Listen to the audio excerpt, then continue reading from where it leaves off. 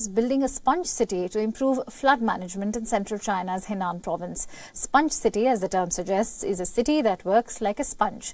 When there's rainfall, it absorbs the water and retains it when there's need. It can also release the water it has stored. We bring you more on this story. China is building a sponge city in central Henan province.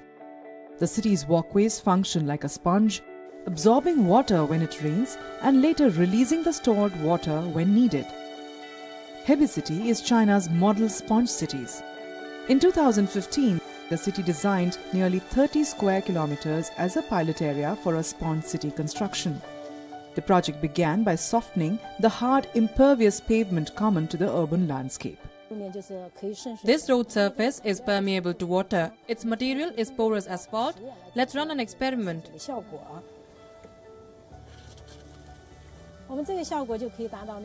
It is effective in light, medium and heavy rain. When it rains, we can still walk on this pavement. The greenery and gardens lining the pavement also absorb and purify rainwater as it infiltrates the ground. Just underneath are water storage modules installed to save the rainwater for later use. Previously, urbanization in China was more about speed or capacity. Now it's reached a stage where it's more about quality. The Sponge City is the future of cities. It will improve people's quality of life and level of comfort by making a city work like a sponge.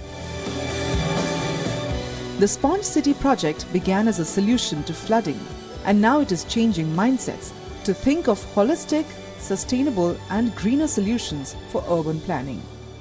Bureau Report WION, World is One.